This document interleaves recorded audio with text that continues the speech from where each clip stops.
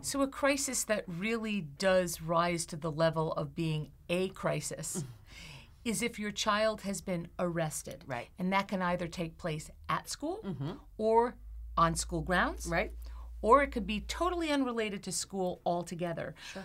But let's address the fact if your child has been arrested at school. And I'll tell you, w- uh, this happens in several ways. Sometimes the child has had a behavior that's risen to the level that the people at school just don't know what to do. Right. So they call the police. Right. Or sometimes the child does something at school, and in many schools, there are police already in, Right, on in the, the premises. Okay.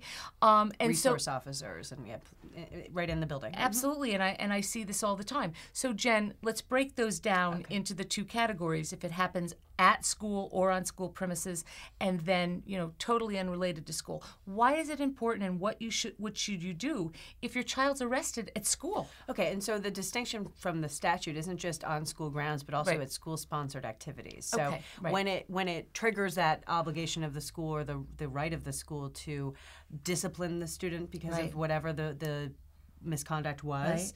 Um, well, then you know, let's just say you have a basketball game and it's not even in the town you reside in, but it could be at a at a school-sponsored basketball game, Right. and uh, the student gets arrested there. That actually would trigger these discipline provisions of the statute. So, so those those two things are important to keep in mind because if if it happens at school or at a school-sponsored activity, then the school district certainly is within their rights to trigger the procedures as long as they follow the protocols, and it gets into a question of whether or not the student should be expelled or suspended based on the misconduct. If because it's hard to imagine many crimes that would not also be a violation of a school policy, okay, or a right. conduct policy. So generally, if a crime is committed, you know, one could think of some that aren't, but it's hard pressed to think of one Right. that wouldn't also be a violation of the school district's code of conduct. So assuming that's the case, then we get into all the discipline procedures, which are we know are really complex, and it, it may then be a matter of this student may be expelled. And in many many cases, the police department actually has a procedure and a protocol, and there are laws on the books in, in certain places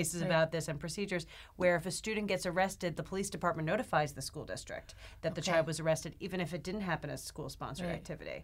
So you know, then you're getting into questions of of discipline. Okay. The problem with that, and what I say to parents, if, if I'm called because there's a potential discipline issue for a client who has special needs and who has also arrested, is from my view, it's much more important that the, ch- the child's criminal rights and their right to Right. not go to jail, okay, and Right. if they didn't do this or if they the state doesn't meet its burden, that's far more important in my view than whether or not the student gets disciplined in school. Okay, Right. I mean, an expulsion pales in comparison for most people to jail time. So I, I have to be cautious and say, look, you need to be careful because what the student says in the context of a meeting with the school or an expulsion hearing could be used against them in a criminal proceeding, and you know. People have the right to remain silent. Okay, Right. so Fifth Amendment right. So you have to make sure that you're cautious about that, Right. right? So that's if it's definitely happening at school. Okay, but can I just really Okay, back, back in you for Yeah. one second here? What's the bottom line on what the parent has to do? What is that first step when they get the phone call that your child has been arrested at school? It's very important to understand all that wonderful background information. the first step is gave to us. handle the criminal piece. So you Okay. either get a public defender, or you, if you're in a position to do so, you hire a criminal defense attorney for your child. Uh, that's what I would say is the first step. Okay. It's more important than your relationship with the school district. Okay. In all likelihood, the next move it, vis-a-vis your school district isn't going to be yours. It's going to be the school district's. Okay. And they're going to notice a meeting that they want to have where they're going to probably want to take certain disciplinary action. Right. And that's called a manifestation determination IEP meeting. And basically, that's a whole other subject. So now, But if, technically, in short, means was the the the uh, the, the the crime Right, in the this case because if you've been arrested, the misconduct a result or a manifestation of the, child's, disability. That's it in a very simple nutshell. Right. What's what's tricky here is that for criminal purposes, it's it's a crime and you have to be convicted of a crime. But in a school context, the misconduct can just be the alleged misconduct. It's almost like there's a presumption of guilt in school, in my experience, as opposed to your rights in a criminal defense. So it's it's a little difficult because sometimes the kid's saying, "I didn't even do it," and now I'm being now I'm supposed to decide. The team's supposed to decide whether it was a result of my disability, something I'm not even saying I did. Now, if a student gets arrested and it has nothing to do with school, it didn't happen at school grounds, It didn't happen as a school sponsored activity. It was completely unrelated to school in every way, maybe in a totally different state for that matter. Okay. okay?